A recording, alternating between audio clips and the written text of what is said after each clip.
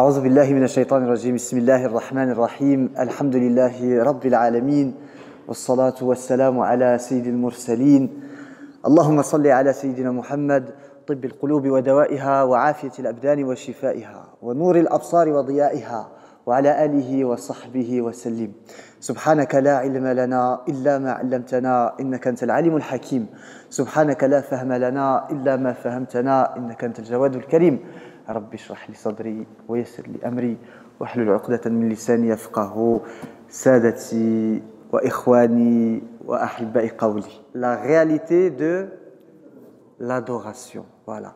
Alors, c'est un sujet euh, qui est, euh, comme vous le savez, profond, parce que l'adoration, c'est le but de notre vie. Donc, vous vous doutez bien que euh, euh en une heure ou une heure dix, mais ce que je vous propose ce soir, c'est euh, d'avoir une approche euh, coranique de l'adoration. Parce que chacun peut avoir une compréhension de l'adoration. Mais moi, ce que, je vous ce que je vous propose, du moins, c'est euh, qu'on s'arrête sur une définition coranique de l'adoration. إذا يعني موضوع هذه المداخلة المتواضعة حقيقة العبادة. يا كتشي اللي درنا في حقيقة العبادة. فعلا العبادة يعني هذا الموضوع. ديال العبادة موضوع عظيم. نبقاو هنايا حتى لغدا راه مازال ما لأن هذا هو الهدف من وجودنا في هذه الدنيا. وما خلقت الجن والإنس إلا ليعبدون. الله سبحانه وتعالى خلقنا للعبادة. ولكن إذا أردنا أن نبحث عن معنى العبادة تعريف العبادة. هناك تعاريف كثيرة. العبادة إذا قلبنا على دابا راه كل شيء موجود في, الإنترنت. كتبوا تعريف العبادة. تشوفوا تعاريف كثيرة. الخضوع لله القيام بامتثال أوامر الله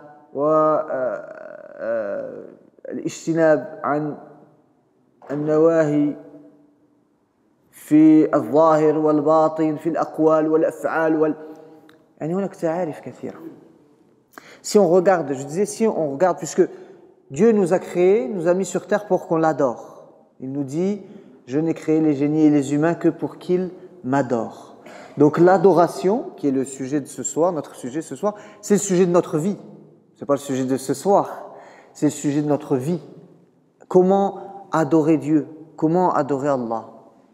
Puisque euh, notre euh, raison d'être, c'est l'adoration. Alors, si on regarde euh, les définitions de l'adoration, parce que on peut se poser cette question, Dieu m'a créé pour son adoration. Mais qu'est-ce que ça veut dire? Qu'est-ce que c'est que adorer Dieu? Qu'est-ce que l'adoration? Alors si on cherche des définitions sur euh, l'adoration, euh, dans la langue, son sens, dans la langue arabe, on va trouver beaucoup de définitions de l'adoration. Mais moi, aujourd'hui, je veux vous proposer une réflexion autour d'une définition qu'on trouve dans le Coran de l'adoration. Parce que le Coran et ça dans beaucoup de choses. Vous savez, euh, beaucoup de concepts. L'adoration, c'est un concept. La piété, la sincérité, la générosité, hein, tout ça, ça nous parle en tant que musulmans. Ça nous parle. Hein. Euh, ce sont des concepts qui sont parfois expliqués euh, de manière plus ou moins compréhensible. Le Coran, le Coran al-Karim, il nous donne des définitions de ces, de grands concepts, des définitions pratiques. Pourquoi des définitions pratiques? Parce que le Coran nous invite non pas à euh, définir l'adoration, définir la générosité, définir la piété. Le Coran nous invite à vivre l'adoration, à vivre la piété, à vivre la générosité, à vivre l'honnêteté.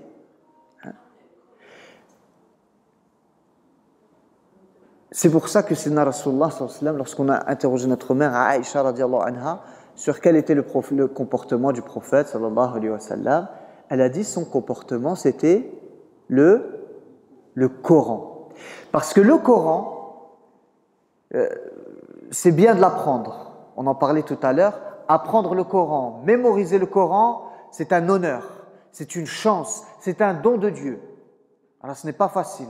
Les gens qui ont mémorisé le Coran, ce sont c'est les, les, gens de Dieu, ils ont été choisis par Dieu. Ça ne veut pas dire que c'est impossible. Attention, hein, chacun. Mais c'est comme ça. Ce n'est pas forcément, c'est pas tout le monde qui a la capacité d'apprendre le Coran. Par contre, tout le monde a la capacité de vivre le Coran.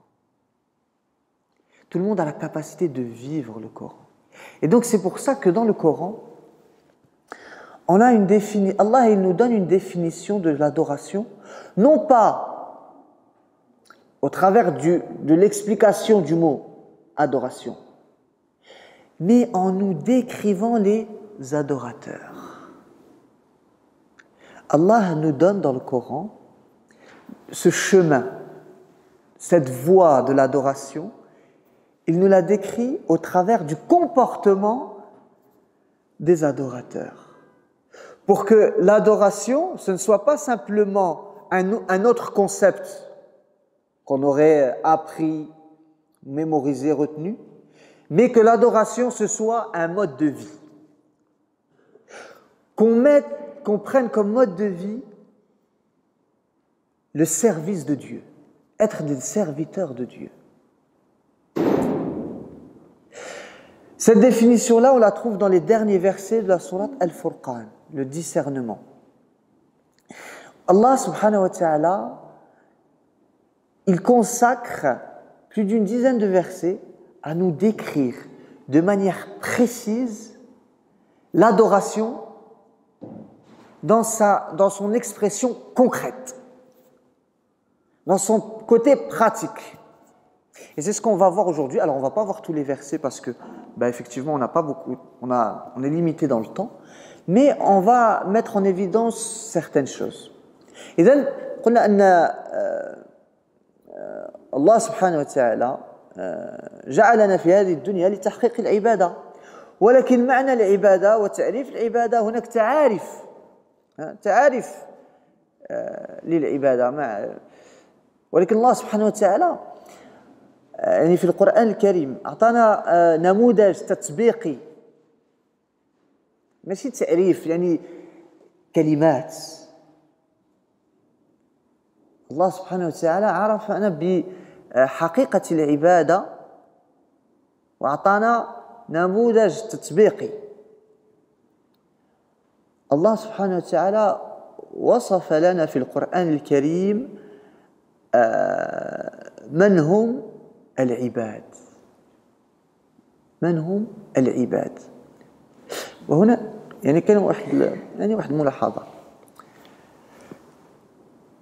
راكم معايا ياك سيادي طيب دابا حيت moi je suis français Morgan Gallet je pense que c'est pas une surprise pour vous vous l'avez compris donc euh, mais euh, أنتم أهل اللغة vous vous êtes les spécialistes de la langue et donc, euh, je vais échanger avec vous. Alors, ce n'est pas un examen, mais c'est un échange. Parce qu'on construit ensemble.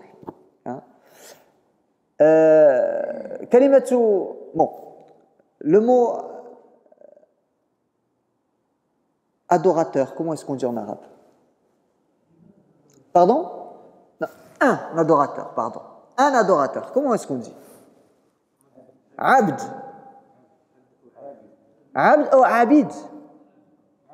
عبد واحد في المفرد. اسل ها؟ عبد عبد خليك من عبد في حالة الرفع وعبد إذا كان في لا عبد. ياك صافي. عبد. دونك اون أغاب ان ادوراتور on a dit عبد. عبد ça جوست dire en français qu'est-ce que c'est aussi l'abd c'est le serviteur et c'est l'esclave. D'accord. Hein? On va retenir ces trois sens-là. L'adorateur, le serviteur, l'esclave. Ok. طيب. آه قلنا عبد اذا كان واحد ياك اذا كانوا جوج اش غادي نقولوا عبدين او عبدان في حالة الرفع ياك عبدين داكو عبدان أو عبدين. طيب. في الجمع. عباد. ها؟ عباد. إذا كانوا بزاف ثلاثة أربعة الفوق. عباد أو عبيد. نعم. كلمة عبد تجمع على جمعين. عبيد وعباد. ولكن أنا غادي نسولكم. قلنا عبد عبد عابد وعباد واش نفس المعنى كاين فرق كاين فرق شنو الفرق Après, je vais le faire en français. Hein. Pardon Esclave, c'est quoi esclave Abid. Et ibad, c'est quoi alors ah.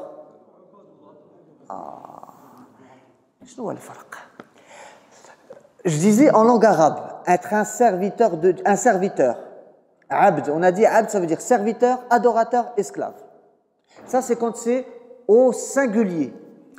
Quand est-ce qu'on va voir la différence et qu'on va pouvoir différencier ces termes quand on va mettre ce mot abd au pluriel? Au pluriel, le mot abd, il a deux pluriels. On peut dire en arabe abid ou ibad. Sauf que là, chacun a son sens. Abid, ça ne veut pas dire ibad. Abid, ce sont les esclaves de ce qu'on connaît du sens esclave. Ibad, ce sont les serviteurs. Alors, je vais revenir, je vais faire un petit peu d'arabe et après je reviens. Où est-ce qu'elle est, où est-ce qu'elle se situe la différence? عبيد هو جمع العبد المقهور بعبوديته اللي هو عبد ولكن ما راضيش بالمقام ديالو. عبيد.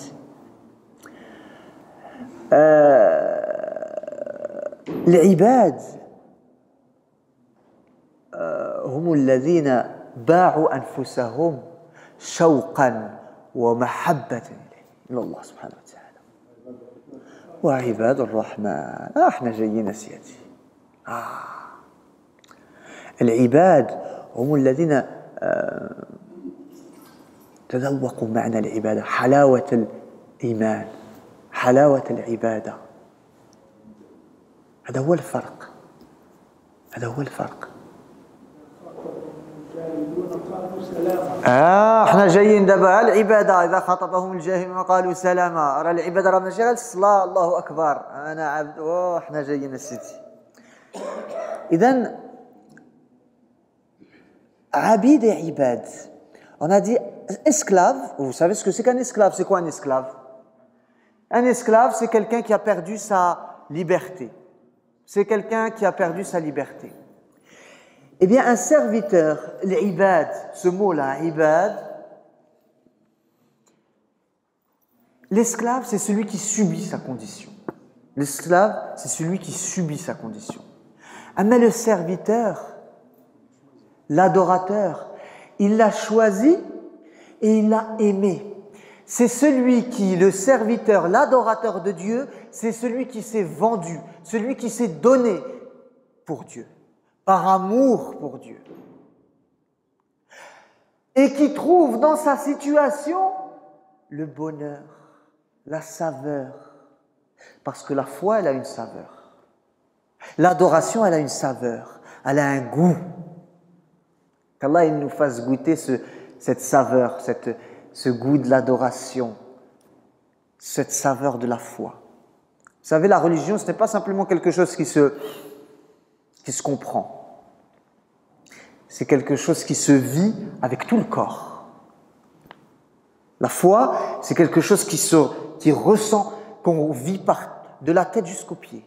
Bien sûr, en passant par le cœur.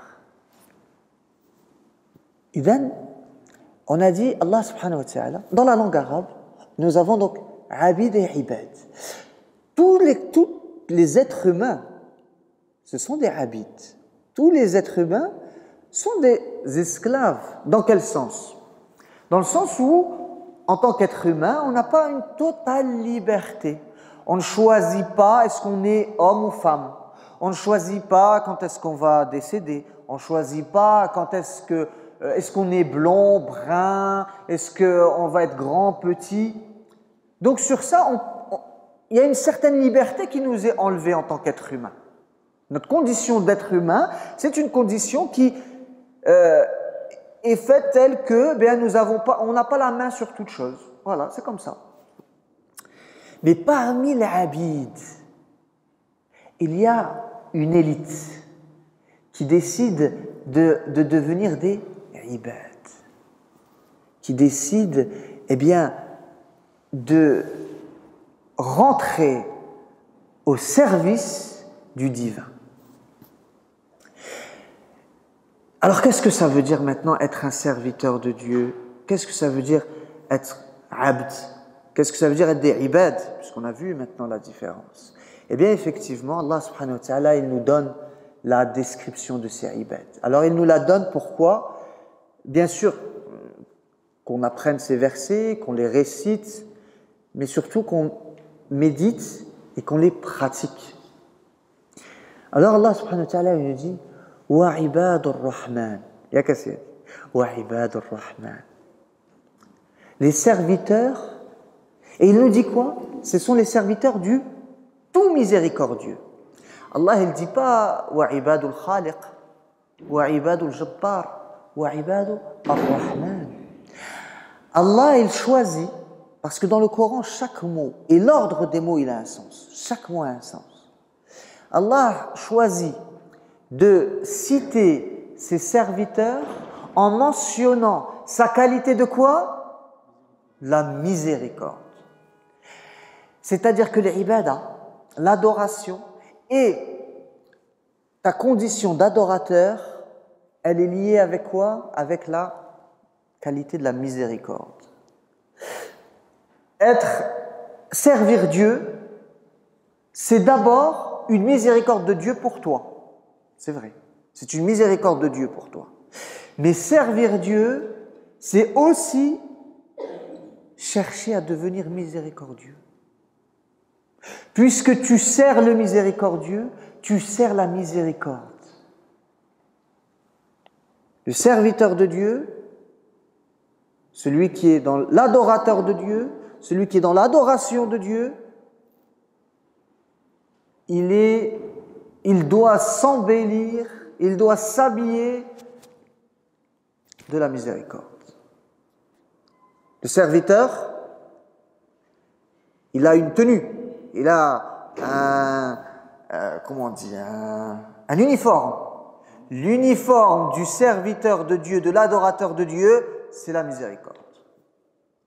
وعباد الرحمن الذين يمشون على الأرض هونا هونا بمعنى هونا بمعنى بالتواضع أولا أول خطوة في العبادة التواضع التواضع La première des choses, donc Allah nous dit, les serviteurs du tout miséricordieux, ce sont ceux qui marchent sur terre humblement. Voilà la première chose qu'Allah cite dans notre... On est en train de chercher là, on est en train de s'interroger, qu'est-ce que c'est qu'être un adorateur de Dieu Eh bien Dieu, il te dit, la première des choses, c'est être humble, l'humilité, être humble.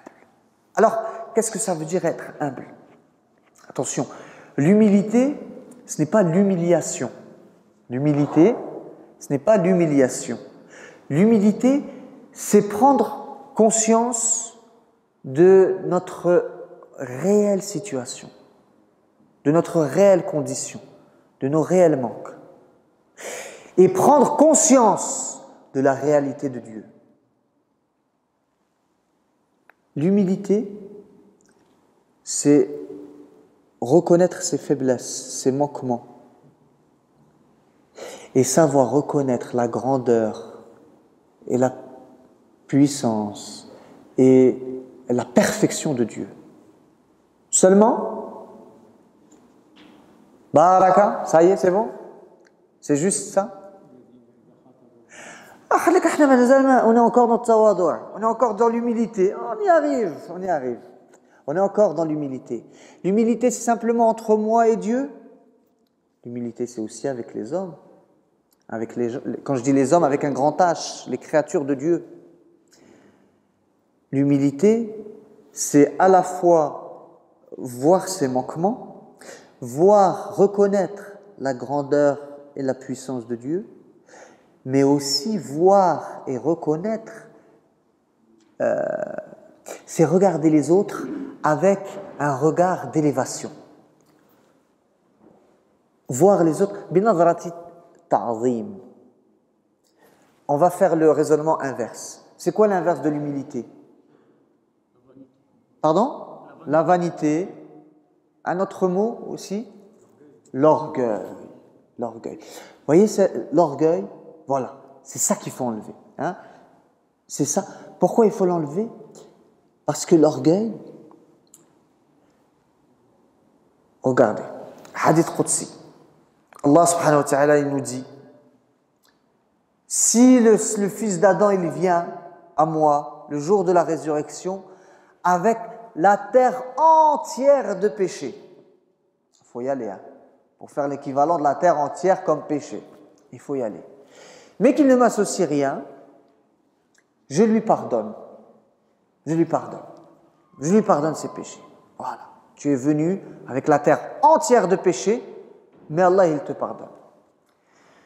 Mais Sayyidina Rasulullah il nous dit, celui qui a ne serait-ce que le poids d'un atome d'orgueil, il ne rentrera pas au paradis. T'imagines? Ici, tu as sur la balance la terre, tout ce qu'elle contient comme péché, tu peux rentrer au paradis.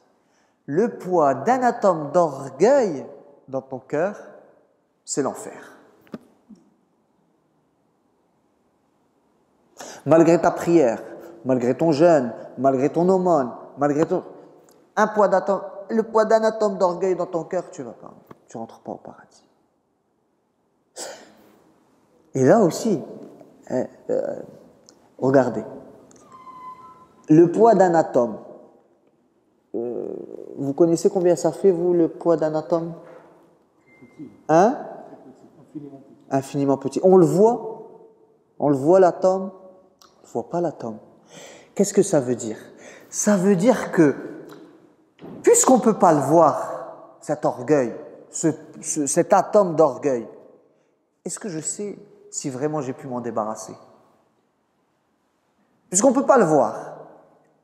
On ne peut pas voir l'atome. Donc, est-ce que j'ai un atome d'orgueil ou pas? Je ne peux pas le voir. C'est-à-dire que ce travail pour enlever l'orgueil, pour devenir humble, c'est un travail qui ne s'arrête pas. Puisque finalement, je ne peux jamais savoir si j'y me reste pas le poids d'un atome d'orgueil. Est-ce que ici, sur, sur ma là-bas, je peux être sûr qu'une poussière, il ne reste pas une poussière? Je vais chercher, je vais chercher, je vais chercher, mais est-ce que je suis sûr d'avoir enlevé l'orgueil de mon cœur? Personne. Donc ce travail sur l'orgueil, c'est un travail qui est à faire toute notre vie, qui ne s'arrête pas. C'est un travail acharné, un travail de fond, sans limite. Et donc je vous disais, euh, l'orgueil, du moins l'humilité, on a dit, c'est un rapport à Dieu, c'est un rapport à soi-même et un rapport aux autres dans ce hadith-là, où quand le prophète sallam, il a dit euh, Il n'entrera pas au paradis celui qui a dans son cœur le poids d'un atome d'orgueil, eh bien, il y a un compagnon qui a posé la question, enfin, du moins, il a dit Rasulallah, mais euh, tout le monde, chacun d'entre nous aime avoir de beaux habits, avoir de belles chaussures. Et là, c'est Rasulullah sallam, il répond quoi Inna Allah jamil yuhibbu al-jamal. Allah est beau et il aime la beauté. Allah est beau et il aime la beauté. L'orgueil, ce n'est pas, pas avoir une belle voiture, une belle, une belle maison, ou bien des beaux habits, ou bien non. Ce bas monde, il est créé pour toi. Profite et fais profiter les autres aussi. Profite et fais profiter les autres aussi. Mais qu'est-ce que c'est que l'orgueil? Ah, c'est Rasulullah, il le dit. Ah, Al-kibr. Avec l'orgueil, c'est le kibr. On est d'accord انتم اصحاب اللغه غير كنتعلم من عندكم الكبر بطر الحق و وغمط الناس يعني l'orgueil c'est euh, euh, pardon Naam. Ah. Il dit l'orgueil, c'est refuser la, refuter, réfuter la vérité et dénigrer les hommes, dénigrer les gens, dénigrer les gens. Ah. Voilà ce que c'est que l'orgueil. L'orgueil, c'est pas s'habiller bien ou bien avoir une belle voiture. L'orgueil, c'est regarder les gens avec mépris. Voilà ce qu'il nous dit Rasulullah. Donc si tu veux être euh, serviteur de Dieu, qu'est-ce que tu dois faire? Être humble, en regardant les autres avec un œil en les voyant toujours au-dessus, en voyant le bien dans les gens. D'accord. Ça, c'est pour l'humilité. زيدوا عباد الرحمن الذين يمشون على الارض هونا واذا خاطبهم الجاهلون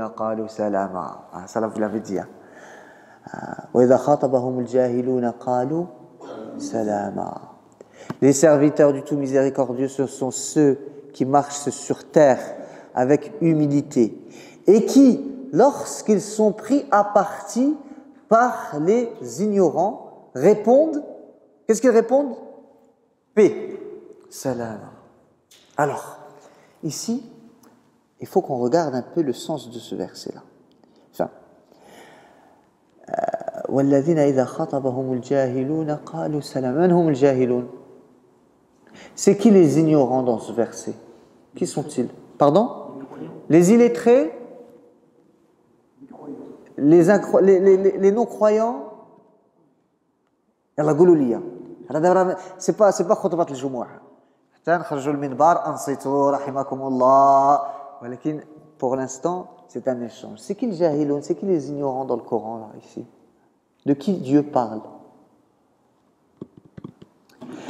regardez pour comprendre oui. Pardon?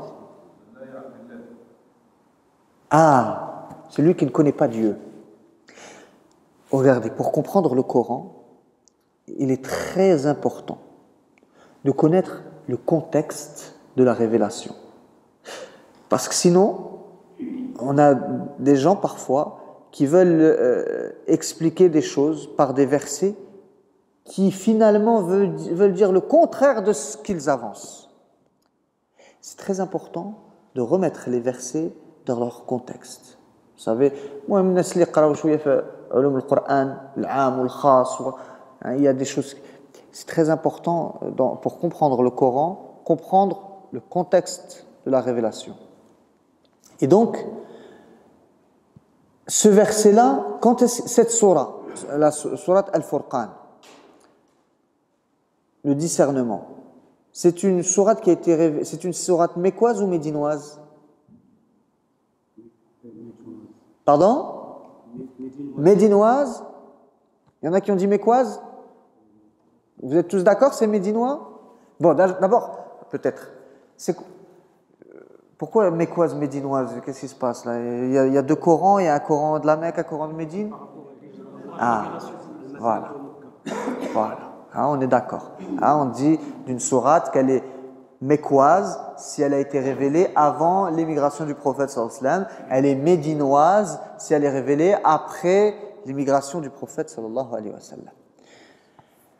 La sourate, le discernement, Al-Furqan, elle a été révélée avant l'émigration du prophète sallallahu Donc c'est une sourate mécoise.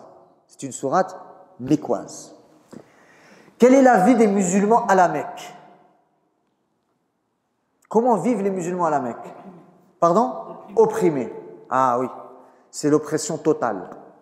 C'est l'oppression totale. Au point où Sidna Rasulullah sallallahu alayhi wa sallam, il dit j'ai souffert, j'ai enduré pour Allah plus que personne n'a jamais enduré. Trois ans, Sidna Rasulullah, avec les gens de sa tribu, ils sont boycottés, interdits de se marier avec eux, interdits de commercer avec eux. À cause de ça, il va perdre Khadija radiallahu anha, il va perdre Abu Talib radiallahu, euh, il va perdre Abu Talib, il va, Sidna Rasulullah il est les musulmans sont persécutés. Vous connaissez ce qui se passe avec Bilal al-Habashi radiallahu anhu. Vous savez ce qui se passe avec Soumayya radiallahu anha. Vous savez. Les musulmans sont opprimés. Ici, les jahiloun ne sont pas les illettrés, les ignorants. Ce ne sont pas les illettrés. Non. Les ignorants, ce ne sont même pas ceux qui n'ont pas cru. C'est pas ça. C'est pas simplement ceux qui n'ont pas cru. Parce que lorsqu'ils sont pris à partie, parce qu'ici khataba, c'est pas ceux qui sont pris à partie par les ignorants. L'ignorance, ce n'est pas ne pas savoir lire, ne pas savoir écrire. Euh, il y a des gens qui ne savent pas lire ni écrire. Pourtant, auprès de, qui on trouve un savoir, une connaissance, une expérience qu'on ne trouve dans aucun livre. Il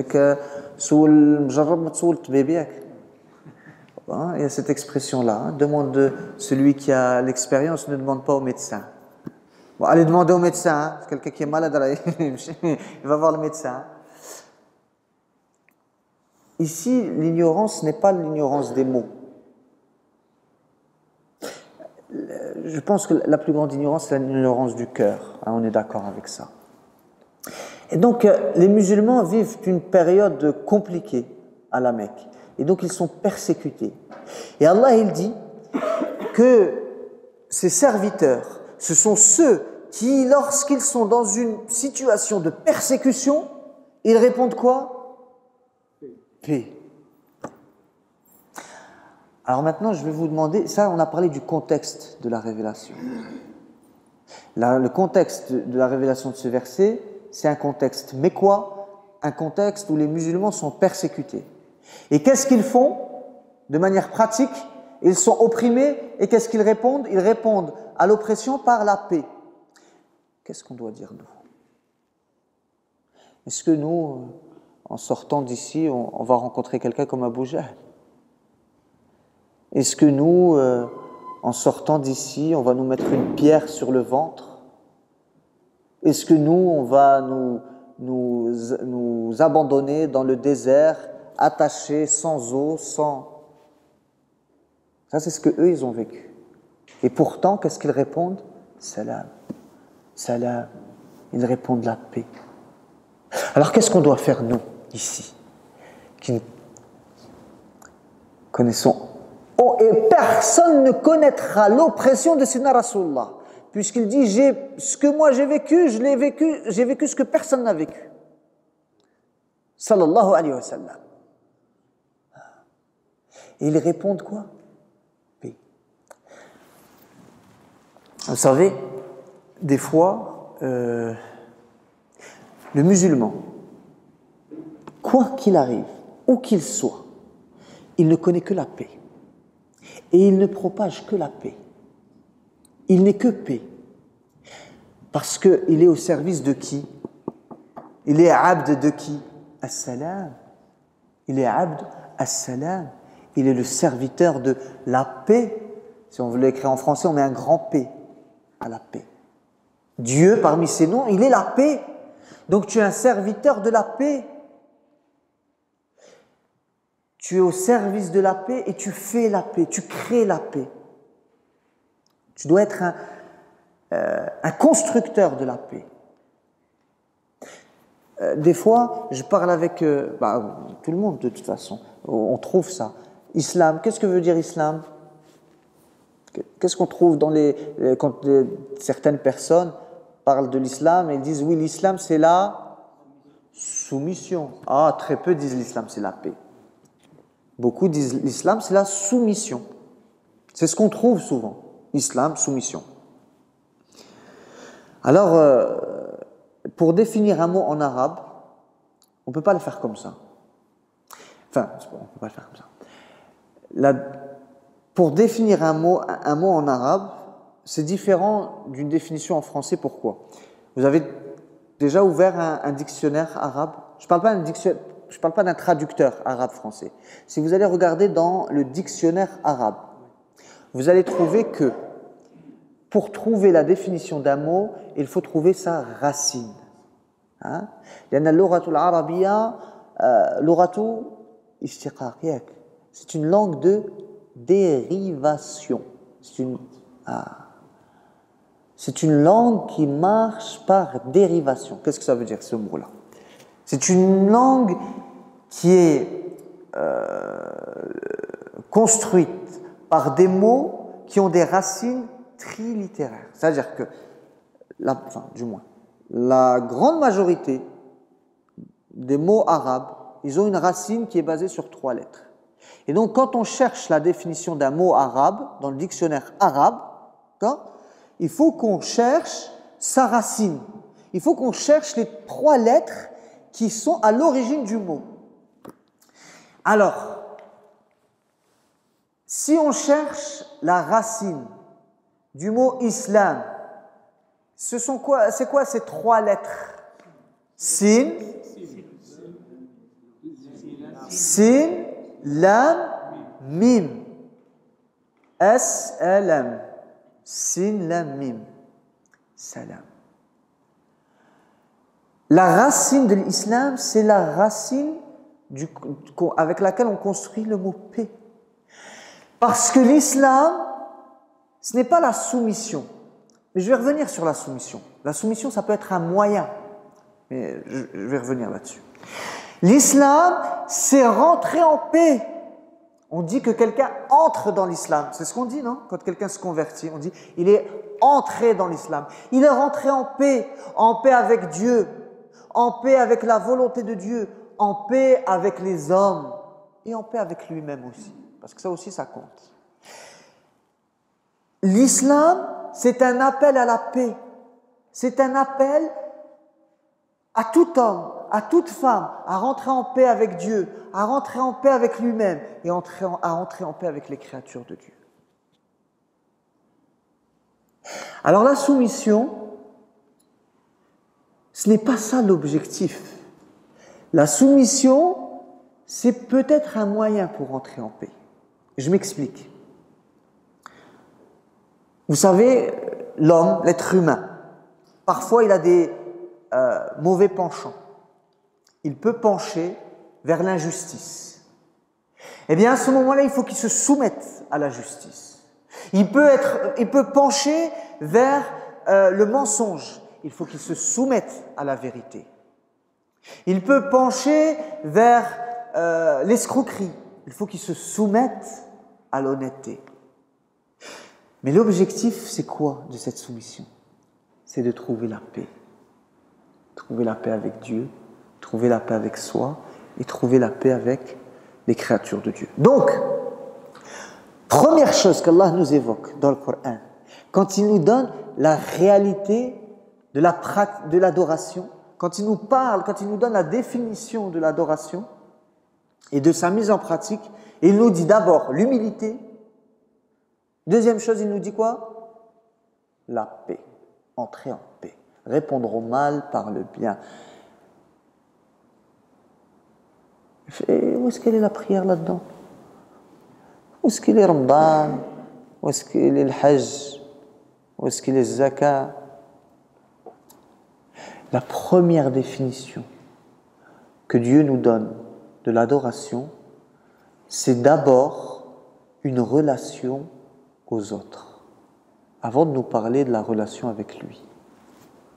Il nous décrit l'adoration d'abord comme un service, d'accord, serviteur, le serviteur du miséricordieux. Ce service, il passe aussi par le service aux hommes. Un serviteur de Dieu, c'est un serviteur des hommes. C'est quelqu'un qui est humble et qui, malgré son humilité, parce que des fois on est humble avec quelqu'un, mais lui, eh ben, il répond à notre humilité par quoi? Par de l'orgueil, par de la violence. C'est des choses qui arrivent. Parce que tous les gens à qui on a fait du bien, ils nous ont accueillis avec le bien?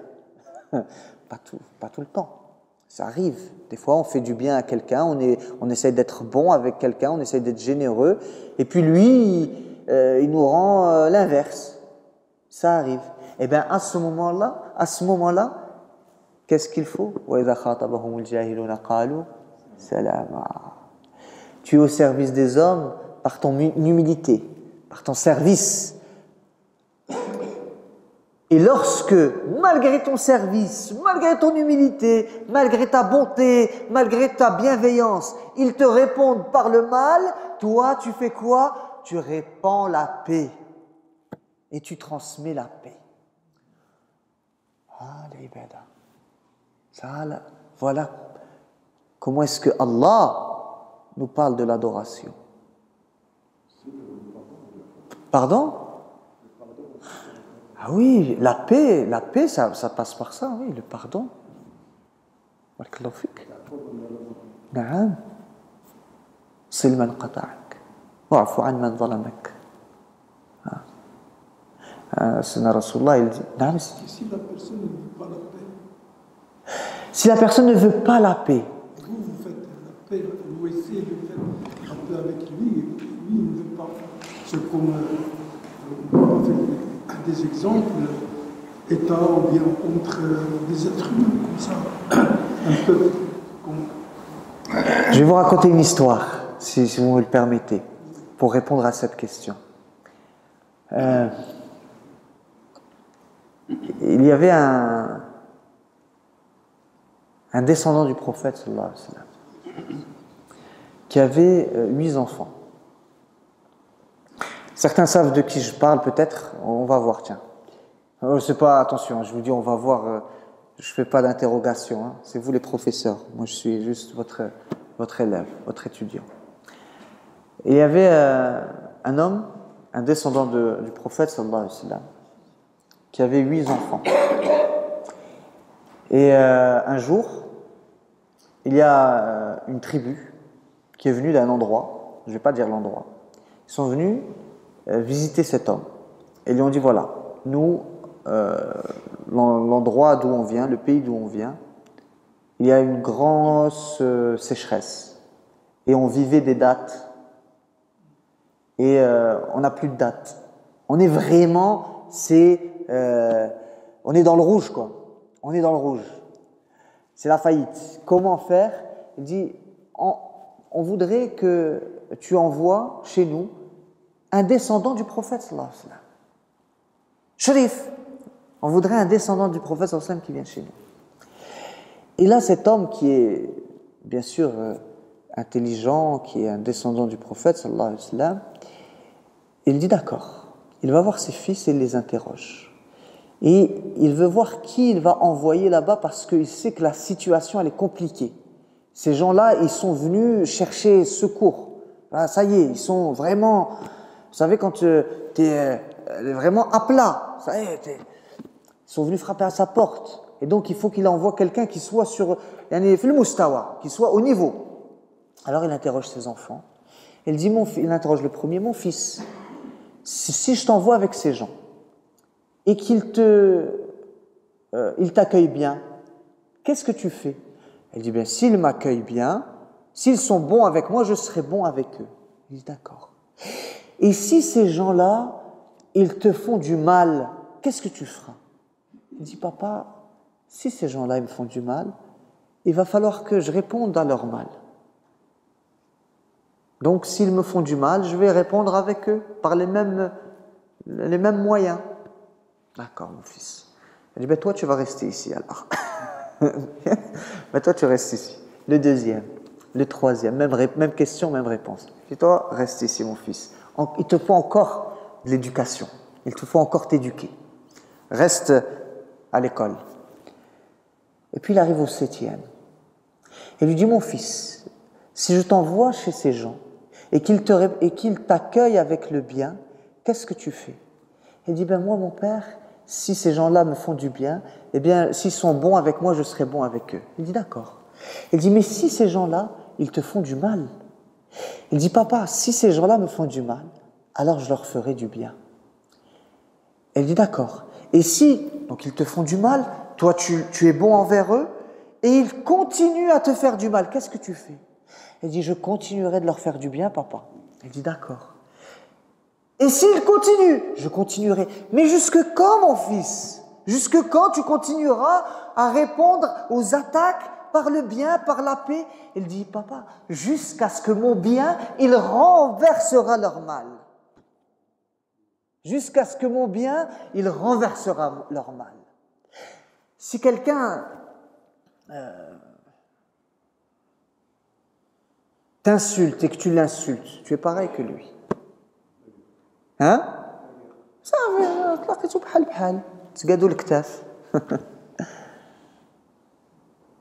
Il dit, je vais leur faire du bien jusqu'à ce que mon bien renverse le mal. Voilà.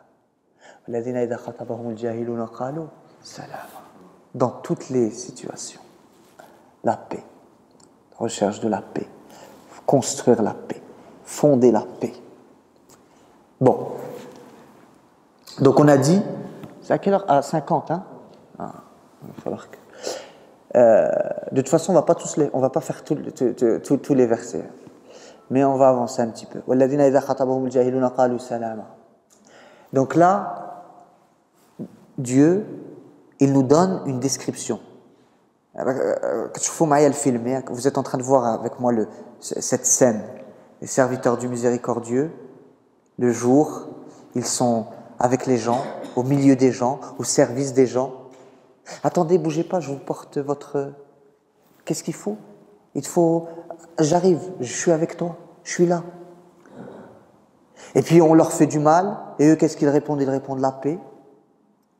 On pourrait dire c'est bon. si déjà on fait ça, Allah c'est déjà suffisant, non? Eh bien, qu'est-ce qu'ils font ces gens-là quand ils rentrent chez eux?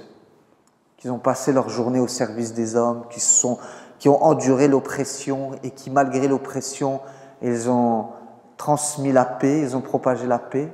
Quand ils rentrent chez eux, le soir, malgré la fatigue, malgré l'effort, qu'est-ce qu'ils font?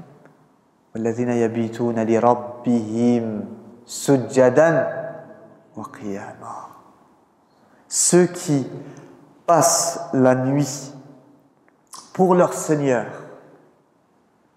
en prosternation et debout. Qu'est-ce qu'ils font? ماذا يفعلون؟ يصلون. والذين يبيتون لربهم سجدا وقياما. لربهم. الآن الله سبحانه وتعالى يوصف لنا عباده يعني في وقت آخر يعني في الليل. الذين يبيتون لربهم سجدا. الله سبحانه وتعالى يوصف لنا عباده. في قصدهم لربهم وفي آه، أعمالهم يصلون Les serviteurs du miséricordieux, la nuit, qu'est-ce qu'ils font Ils ne se reposent pas de tous leurs efforts, de tout ce qu'ils ont fait dans la journée. Du moins, ils se reposent. Oui, ils se reposent. Mais ce repos, ils ne le trouvent pas dans le lit. Ce repos, ils ne le trouvent pas devant Netflix. Leur repos, ils ne le trouvent pas devant Facebook. Leur repos, ils le trouvent dans la prière.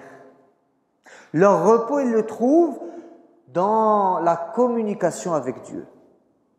Et ça, c'est important. Pourquoi Allah, il dit la nuit? Parce que la journée, ils ne prient pas, ces gens-là.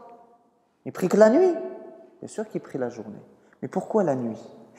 Parce que la nuit, le soir, c'est le moment. Regardez, la journée, chacun il a, il a une casquette. Lui, il est plombier, l'autre, il est mécanicien, elle, elle est docteur, elle, elle est professeur. Chacun a une casquette, hein il a son uniforme. Et puis quand on rentre chez soi le soir, on enlève cet uniforme, on enlève sa casquette, on redevient soi-même. On redevient soi-même. Et ça, le soir, c'est le moment de l'intimité. C'est le moment où on se retrouve avec nos proches, on se retrouve avec soi, on se retrouve aussi avec nos proches, avec les gens qu'on aime. Eh bien, les serviteurs du tout miséricordieux, ce moment d'intimité, ce moment d'honnêteté, ils le passent avec Dieu. Ils le passent avec Dieu en prière. Et Allah, il dit Sujjadan wa qiyama. Alors, vous savez que dans la prière, on n'est pas d'abord en prosternation. On dit Allahu Akbar. Ouh, le micro, pardon. Non, on dit Allahu Akbar. Al-Fuqaha. takbiratul ihram wal qiyam laha الفاتحة والقيام لها ياك الركوع والسجود ولكن الله سبحانه وتعالى يقول سجدا وقياما Allah il dit ils sont prosternés et debout alors que dans les prières on est d'abord debout ensuite prosterné comme si le but de la prière c'est leur prosternation l'objectif c'est la prosternation pourquoi L'objectif c'est la prosternation parce que c'est le moment de la proximité.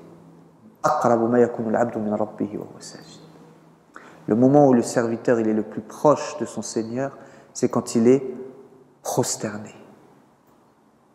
La prière, c'est comme ça qu'il faut le vivre, comme un moment de proximité avec Dieu, un échange avec Dieu. Alhamdulillah, Allahu Akbar, irfa'u al-hijab wa abdi min Allah. ارفعوا الحجاب بيني وبين عبدي الحمد لله رب العالمين حمدني عبدي الله سبحانه وتعالى يقول حمدني عبدي الرحمن الرحيم أثنى علي عبدي Le serviteur parle, Allah lui répond. Un échange avec Dieu. Et cet échange, il se finit par quoi Allah Akbar, sujoud, la prosternation.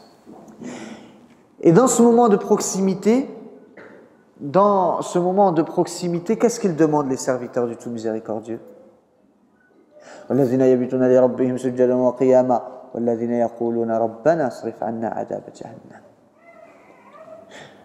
Ceux qui passent leur nuit en prière, Ceux qui passent la, nuit pour Dieu, euh, debout, euh, prosternés et debout, et ceux qui disent Seigneur, préserve-nous du châtiment de l'enfer. Regardez. Ils ne demandent pas le paradis. Ils ne disent pas Seigneur, donne-moi le paradis. Ils disent Seigneur, préserve-moi de l'enfer.